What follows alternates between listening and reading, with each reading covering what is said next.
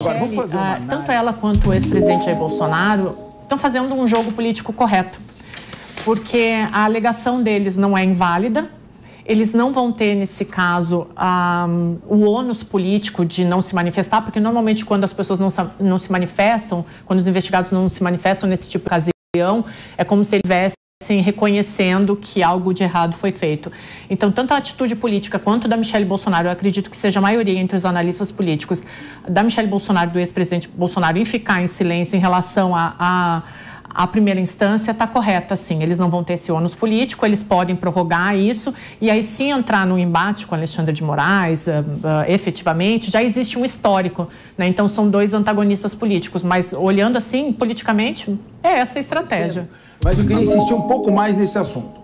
É, o, o receber presentes e ficar com os presentes constitui crime é, então, não, não tem nenhuma lei dizendo que os presentes entregues ao presidente da República deveriam ser entregues à União. Nenhuma lei. Tem uma decisão de 2016 do Tribunal de Contas da União. Muito bem. O presidente Lula mantém consigo dois relógios Piaget, um em forma retangular, outro em, em, forma redonda, que ele recebeu e diz que mantém. Ingressou com uma ação no Tribunal Regional Federal aqui de São Paulo é, da terceira região para anular uma decisão do TCU que mandava ele devolver 21 itens de presentes. Eles receberam 568 presentes, devolveram, mas 80 itens ainda não foram devolvidos. Então, se é crime, não adianta devolver, o crime já está consumado. Acontece, existe um procedimento formal, né?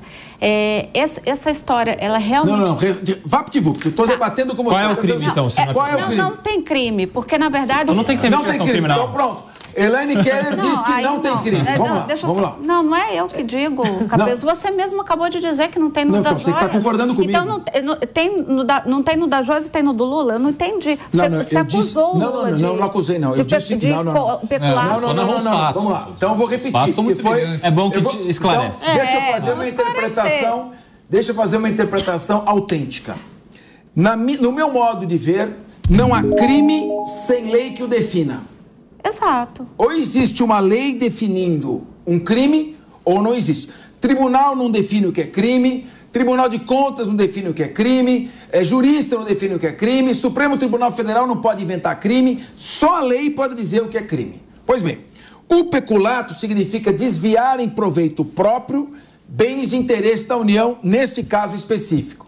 Se não tem nenhuma lei dizendo que os bens são da União, a pessoa não desviou bens da União. Agora eu digo, se você afirma, não você, falando pessoalmente, se alguém afirma que o presidente Bolsonaro cometeu crime ao ficar com os presentes, então o mesmo raciocínio se aplica ao presidente Lula, que está com dois relógios Piaget, se ao presidente Lula, que tem 21 presentes que ele quer que lhe sejam restituídos, ao presidente Dilma também. No meu modo de ver, essa existe um vácuo na legislação Exato. e nem a Dilma, nem o Lula e nem o Bolsonaro cometeram crime por ausência de uma lei definindo. É isso que, aí eu estava afirmando o seguinte: se o sujeito vai aqui, você sai na Vila Paulista, bate a tua carteira, sai correndo, aí ele olha e fala, uh, cabeça é corintiano. Aí ele volta e fala, ó, foi mal, tá aqui a sua carteira. O crime não desaparece. Então, se, se houve crime, se houve crime, a devolução